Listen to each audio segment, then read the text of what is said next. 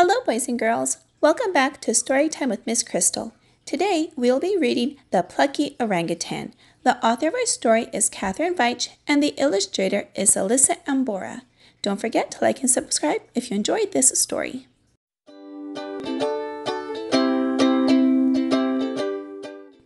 Oma, the orangutan, wanted to be good at everything. She loved trying new things. Every waking hour, when she was not eating or napping, she loved doing challenges. One day, Oma's friend Amir challenged her to build the best tree nest. It will be the coziest nest any orangutan has ever made, said Oma as she gathered branches with the biggest, softest leaves to line her new nest. But whoosh! A rain cloud burst overhead. Rain flooded into Oma's nest and quickly soaked the leaves and Oma. I wish you would go away, shouted Oma at the rain. Look at my soggy bottom. I'm not the best at building a cozy nest. Why don't you try building a nest in the fastest time instead? said Amir as he sheltered under a giant leaf. Word spread about Oma's next challenge, and when the rain stopped, she was ready to begin. Vina, who was the fastest nest builder many years ago, counted Oma down. One, two, three, orangutan go. The sounds of bend, snap, bend, snap echoed around the forest as Oma whipped branches off the trees. But the branches were wet and slimy, and many slipped out of her hands. Time's up, shouted Vina. Stop what you're doing. Oma did not feel confident with this challenge either. Can you stand up in your nest? shouted one of the watching orangutans. Oma nervously stepped in, but her nest was not very strong. I'm not the best at building nests in super quick time either, said Oma sadly. Amir suggested that for Oma's next challenge, she could try building the highest nest. Oma bravely climbed the tallest tree she could find. She could see for miles. It's windy up here, she nervously shouted down, but she would not give up the challenge. I can do this, she told herself. Amir was not so sure about the view when he joined Oma. Look, the rain clouds are coming back. Oma and Amir scrambled down just in time as heavy rain washed away Oma's nest. My idea to build a nest that high was not so great, said Amir as leaves and branches fell on Oma's head. The rain has destroyed all of my nests. I wish it never rained again, said Oma.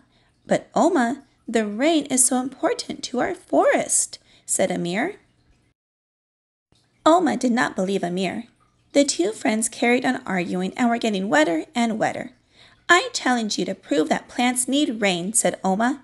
Let's have a competition. When it stopped raining, Amir was ready to take Oma's challenge. Vina volunteered to judge the competition and gave each of them a young tree to plant. It did not take Amir long to find the perfect spot to plant his tree. Here, my sapling will have shelter, light, and the rain will drip off that leaf and water it, he said. Oma found it much harder to find a spot for her tree, but eventually she found a dry tree hollow that did not have any animals in it. After a week, it was time to check on the young trees. First, they all went to Amir's sapling. I don't believe it, Amir beamed. My sapling has grown five more leaves. Then they went to look at Oma's sapling. Sadly, her small tree had not grown any more leaves, but Oma was still hopeful. Perhaps it's a slow starter, like me, she said. After two weeks, it was time for the final check.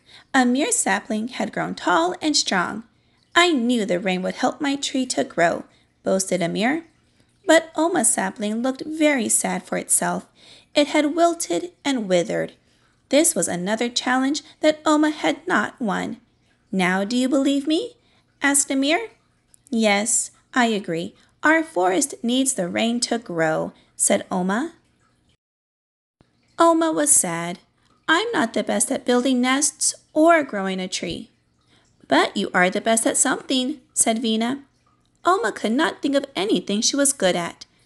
Every time something went wrong, You kept trying and you never gave up, smiled Vina. You are the best at trying your best. And the best at making people laugh, added Amir. All right, boys and girls, I hope you enjoyed this reading of The Plucky Orangutan. If you'd like to add this book to your collection, I'll have it linked down below in the description box. And don't forget to subscribe to my channel so you don't miss any uploads that I add. I hope you all have a wonderful day, and I will see you again soon in a couple of days with a new read aloud. Bye bye!